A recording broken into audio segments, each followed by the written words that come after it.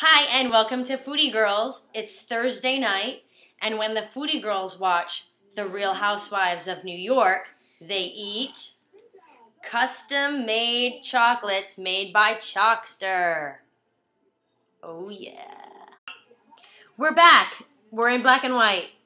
It's not your it's not your screen. We just wanted to switch it up. All right.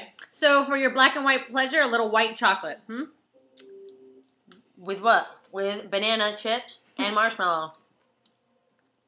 Mmm. That is different. I forgot how much I like white chocolate. I'm glad you think I'm hilarious. That's why I hang out with her. White chocolate, bananas, that's a dang good thing. Here, milk chocolate.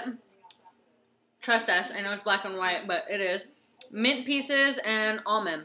Mmm. I love mint. There's nothing wrong with mint and chocolate. Now, Mmm.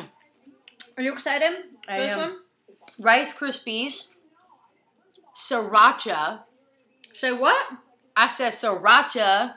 I'm sorry. Did you say sriracha? I did in this chocolate. And what else? Um, toffee bits and Rice Krispie pieces. Oh, that's spicy. I always knew sriracha would be good on everything, and now I know. Oh, that is that is spicy, in a good way. That's real good. Sriracha and chocolate. Custom made chocolate bars. 'Cause That's the only way you can eat chocolate bars. think about that. Oh, God, we've just gotten not funny. what happened to us? I'm so depressing, I'm eat more chocolate.